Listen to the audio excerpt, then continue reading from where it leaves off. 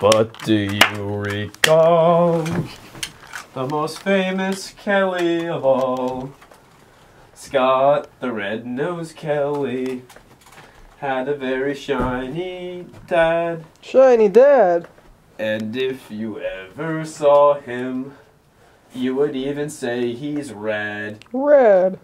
All of the other Kellys Kelly's. used to laugh and call him name Name. names. They never let poor what's his name?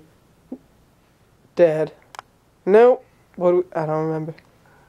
Wasn't it Dave? No. Dave's the dad.